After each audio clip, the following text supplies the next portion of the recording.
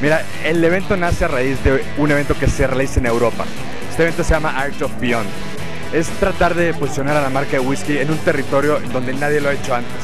Territorio artístico, territorio que se aleja de este clásico whisky que se ve para gente adulta inclusive, ¿no?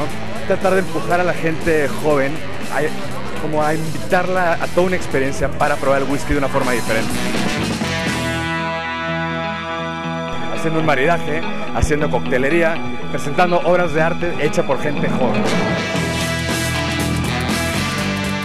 Soy Vicente Torres y estamos aquí en el evento de Valentine's y básicamente ha sido como la culminación de la experiencia, toda la experiencia visual, todos los artistas, nosotros hemos acabado como en nuestro stand del engaño visual y lo que hemos hecho ha sido como montar tres platillos que son tres engaños visuales, un lingote de foie, unos falsos tentáculos de pulpo y acabamos con unos chiles de chocolate.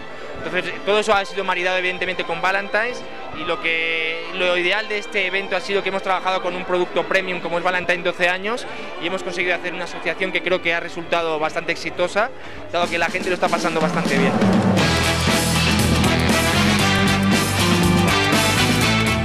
y esa idea se replica en Latinoamérica. Escogen a México como sede oficial para hacerlo. ¿Por qué? Por nuestro artista Alejandro Castro. Alejandro Castro es nuestro artista plásticos más reconocidos en México y él invita a sus compañeros eh, Benjamín Osa y Augusto Zanella, argentino y chileno respectivamente, a, participar en este evento.